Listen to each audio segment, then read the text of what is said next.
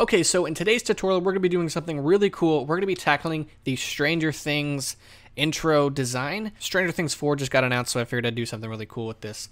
So let's head on into the blend file here, and this is the file we're going to be making.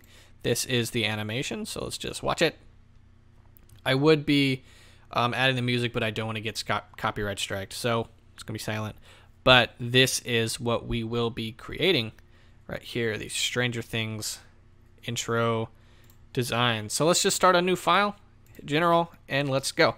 So the first thing we're gonna do is hit Shift A and we're gonna add text right here, right there. So right here and in all caps, stranger.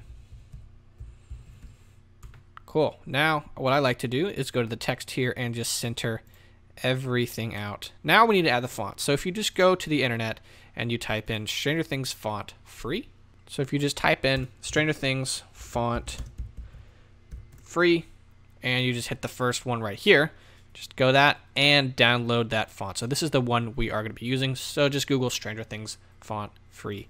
And we're going to go down here and where it says font, go down and add it to your scene. So right down here. So Stranger Things. And then we'll go down and we'll add right here and type in things.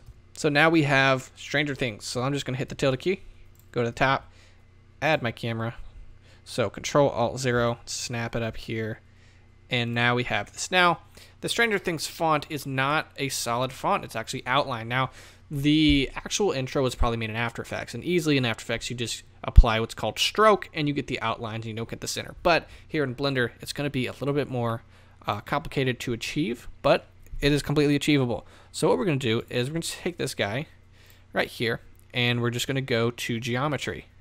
And what we're going to do is we're going to take this right here where it says offset and do that. Now I'm going to hit Shift D, take another one, and bring the offset back down. So now you have two of them.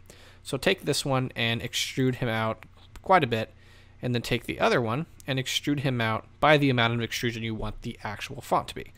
So I think that is a good amount. So now you have these two. So what I'm going to do is I'm going to hit B for box select and select both of them.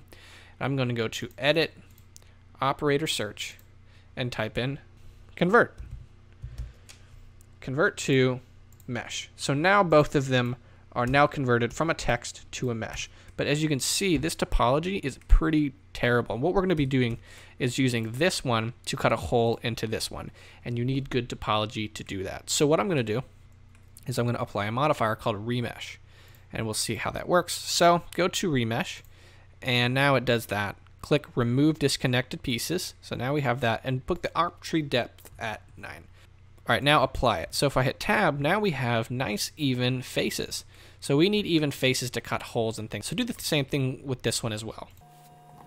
So now both of them have had the remesh modifier applied to them. Click the one in the center, so click the larger one here and get a Boolean modifier. And then see this one is called text2. So go, go into object, select text2, and then if we just hide it, bam, we have our outline. So now we'll just go ahead and apply that Boolean, take text2 and delete it. So now you have this. So now all you have to do is do the same thing with things. All right, so now I have Booleaned and cut through both parts of the text. Now we can go ahead and start designing the lighting and stuff. So let's go ahead and in the camera icon, click Eevee. We're going to be using Eevee to render this. I'm hop over here to the shading tab. Now one cool thing about the original font and text is that the actual text isn't just one like regular emission shader. So I'm going to click the text here and I'm just going to add an emission shader.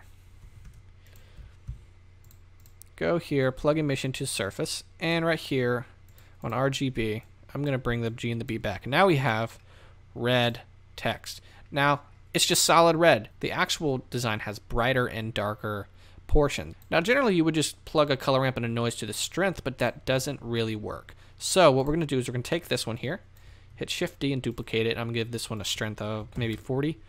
And we're going to get a mix shader right here. Sorry, here we go. Mix shader, plug it there, plug the emission here.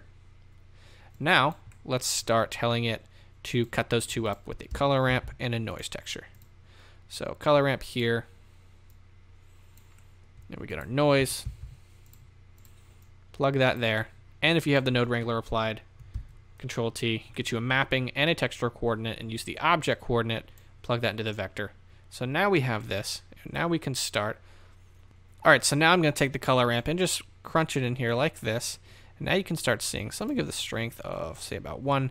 And so now you can start seeing that color variation happen within the text. And so now we get some really cool stuff. I'm going to back up here and see, bring my scale at 2.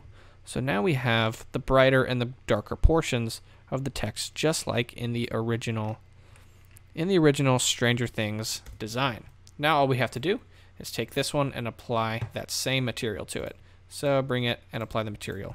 And boom, we have Stranger Things. Now, if you don't see any of this, if you're having a problem, turn on Bloom. You need to make sure Bloom is on. So basically, this is the design. Now, what I had done is just added a some some smoke here. So I'm just quickly show you how to do that. Add a cube, uh, Control A, and apply the scale. I'm gonna go to the shading here. Click New. I'm gonna delete the default principled and add a volume. The uh, principled volume. We're gonna attach this volume to volume. Give it a density of 0.01. Now let's add a color ramp, a noise texture.